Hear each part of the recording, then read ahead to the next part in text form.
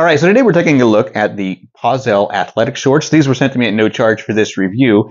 And when I chose the size for these shorts, I went with the size chart that they have.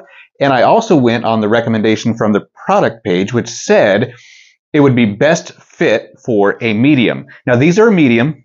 I'm five foot four inches, probably have a 32, 33 inch waist.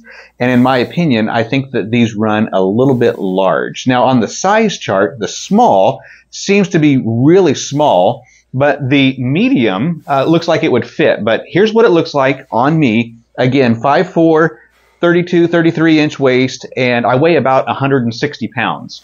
Now, I really do like the shorts. They are breathable, they're cool, they do have the split hem, two pockets in front, and then they do have a zippered pocket in the back. I did use these this morning for my workout. I want you to check this out and see how flexible they are and how they bend with you and move with you. I think that they're great. I've not had really an issue with the quick dry uh, because I've not soaked them down or got them wet with sweat. So, uh, you know, I think just the feel of them, it does have that quick dry feel. Uh, they're comfortable. They do have an elastic band, which, you know, if I was to go with that small, I think I got plenty of room with that elastic. And then they also do have a drawstring if you would need that. If you happen to buy a size that was just a little bit too big, you can cinch that up a little bit.